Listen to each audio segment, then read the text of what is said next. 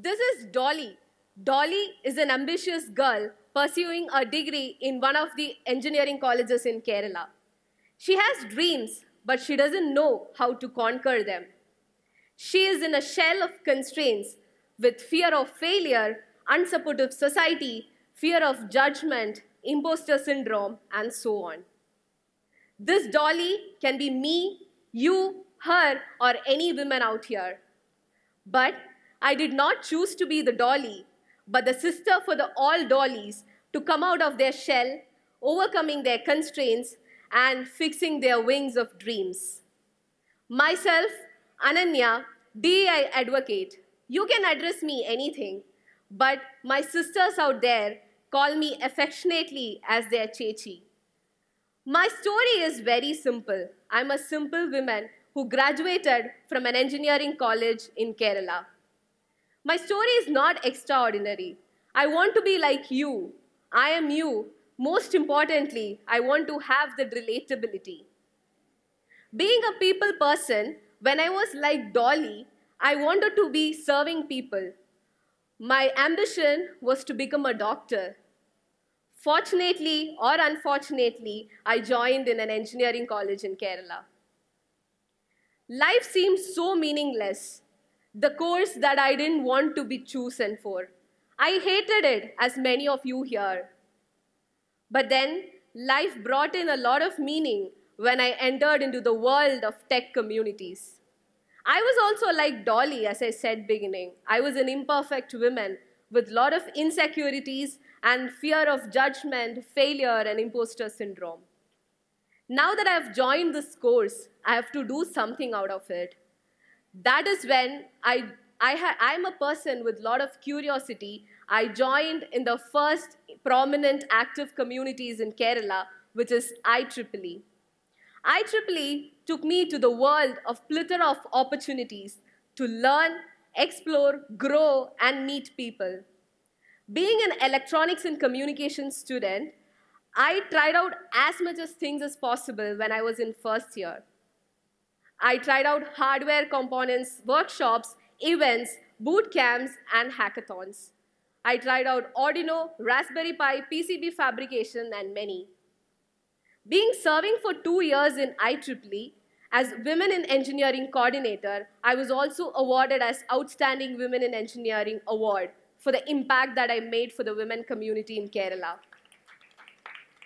But then, hardware did not interest me for the first two years. I had to step down to find, I think, coding. I tried out all the coding languages Python, Web, HTML, Android, Flutter. That is when I was taken into the second community, which is Google Developer Groups, community by Google. When my friend suggested me, it is a community led by professionals, which took me into another world where technology impacts the world.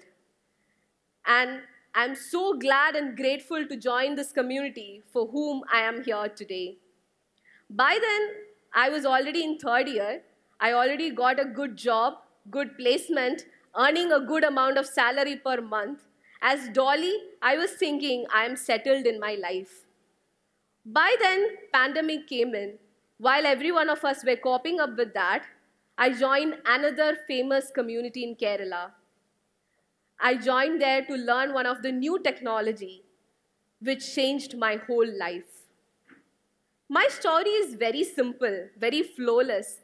Didn't get doctor? Fine, go to engineering. Fine, you get a job, you're earning a monthly salary. But then, that is where I faced a lot of constraints as a woman. Can you imagine going to this college without an Android phone and a laptop? Yes, I went to hackathons, boot camps, events, sessions, did coding without an Android phone till second year and a laptop in final year. But then how did you learn, Ananya?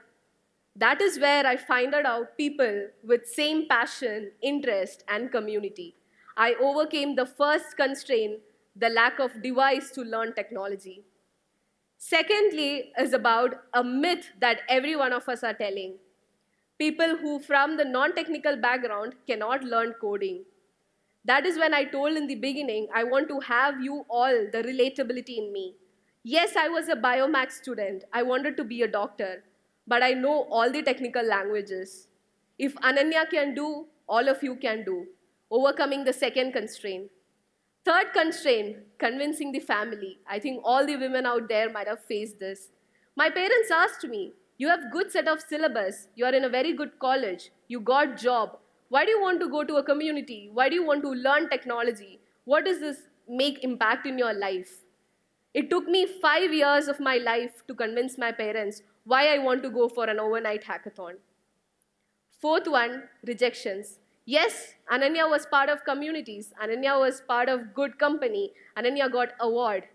But then I have been rejected from major communities and great companies as well. Each rejection put me down. Each rejection brought tears in me. Each rejection stumbled me. But then after that, I woke up from that constraint. Fifth one, fear. Yes, as Dolly had, fear of judgment, fear of failure, lack of confidence. For example, when I joined one of the famous community I told, Google developer groups, I had that fear. It is a community by Google. How will I even join there without the coding experience? This pulled me down. But that one step ahead that I kept in my life changed my story. Fine, but what are you doing to help this dolly?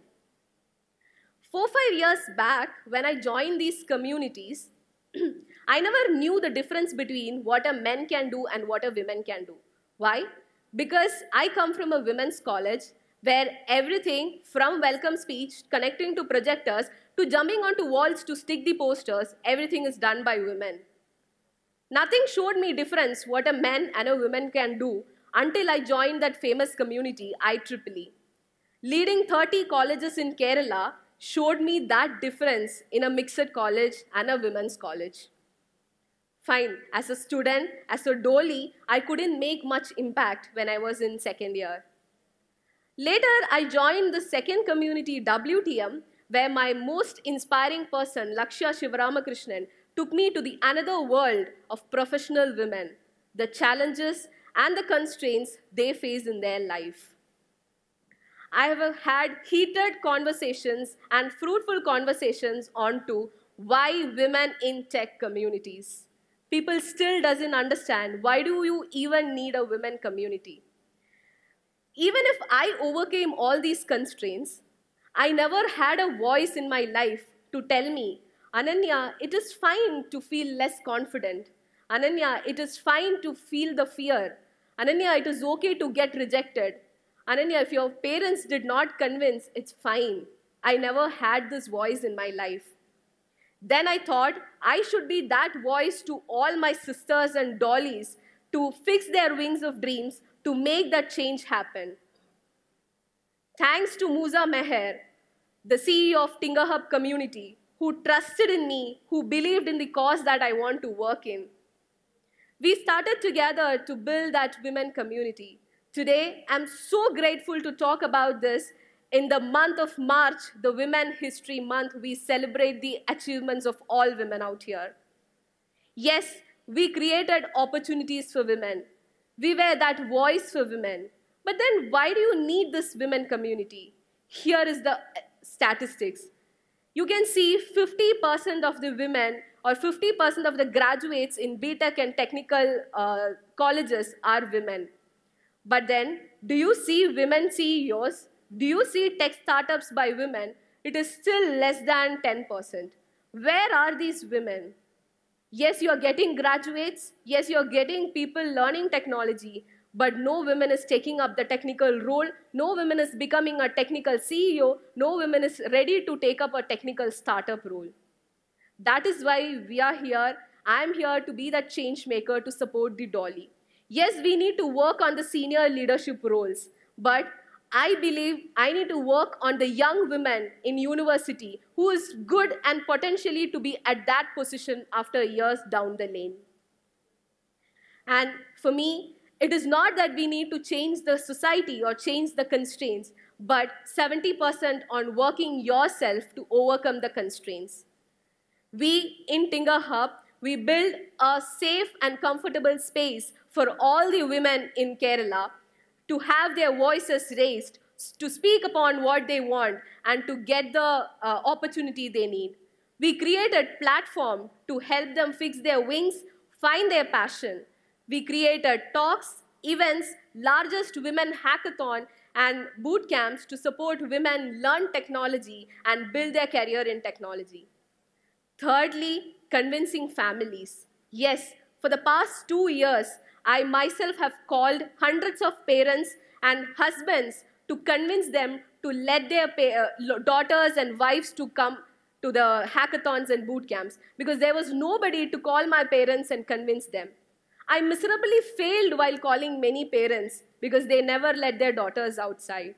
But I will never let my dolly fail. I still support them, still convince them. Lastly, while I support, while there were a lot of women to support me in my life, there were a lot of women who pulled me down as well. But I believe in one cause, which is lift as I climb. I lift all the women who in my life to climb upstairs when I come upstairs in the ladder. Lastly, I want to say to everyone in this room for me, there were four things that helped me in my life. If you're a student and a woman in college, college life is the best life you will have. You will enjoy with programs, events, fest, everything. But then you can use it in a productive way as well. That is why we communities are here for. The four things that helped me curiosity. I was a very curious person. If I did not be a doctor, I became an engineer. If I become an engineer, I had so much curiosity, and I believe curiosity is a key to success. If I've not tried out hardware, if I've not tried out coding, if I've not tried out designing, I will not find my passion. Have curiosity in your mind when you're a student because this is the best time you will have so much time with you. Explore as much things as possible, second. Until you explore different things, you will never understand what is your passion. Third, take risk. Lot of opportunities that came in my life was very risky. Every time I failed, every time I was like Dolly, I came up, I took up the ris risky situation, I took up the risky opportunities. I was never fear. Even if I was fear, there were a lot of women to support me. Take risk, which will help you to become who you are. Finally, live network. Being part of communities you will get to meet a lot of people who are of same passion and same interest. Meeting people, understanding different perspectives will help you to grow and be a better person yourself as in community, profession, and personal life. Finally, I want to say to all women out here, do you feel fear of failure? Do you feel lack confidence? Recently, what happened in my current organization, there was an intern who is from Kerala. She came to Bangalore and she told me she wants to meet me. She told me, Chechi, people here speak very different language. I'm so young in the team. I can't understand what they are saying. I'm feeling so fearful. I can't ask them. They are so senior. Then, one year back, when I was in the same organization, I too had this. People speak different languages. I'm the youngest person in the team. I also had imposter syndrome to be in the biggest organization in the world. No voice came and told me, Ananya, it is okay. But yesterday, when this woman came up to me, I told her, it is fine. I was also there. And you can be an another woman to support another woman tomorrow. Be fearless. It is okay if your parents, if your husbands do not allow you to go. It's fine. You have to push yourself. It's not their problem, it's not your problem. But try harder. Try harder until you reach that success. But last, one thing that I want to tell all women while you grow up your ladder, while you complete all these fears, while you overcome all these constraints, do not forget to pull other women up in your ladder. Because this is our problem that we face. If we are not together in this journey, who is going to be together? Women support women is the most strongest thing in this world. Let's together stand and raise all the women and solve this challenge. Finally, to, and before this, I am so grateful to all the women in my life who supported me. Finally, to all men, I have had a lot of allies in my life who supported me, who helped me to grow here. I want you to be that supportive ally. If you are a man in college, if you have an event happening, and do not give welcome speech, anchoring, and vote of thanks to women. Give them the chance to connect the projectors. Give them the chance to do the technical side. Let them do it. They might go wrong. They might do blunders. They might do it in two hours' time. It's fine. Have patience. If you're doing a technical project with your women team, not that women can only do presentations with colorful presentation. They can even do coding. They can even do hardware. Give them the chance. Have patience. Support. Be that ally in the team. To all the professional men in this room, believe me, having diversity in your company, having diversity and equality in your team will bring a great impact. For example, I have seen men and women both have logical and uh, emotional thinking men have more emotional, uh, sorry, logical thinking and women have more emotional thinking. And when you have women in the team, if you want your product to be uh, successful in the market, have women because women can understand the emotion of the customers and consumers. This will bring highest market rate in the product. Thanks to all my allies in my life who had helped me to be successful for the women I am today. Finally, lastly, here is to the strong women. May we know them, may we be them, and may we raise them. Thank you.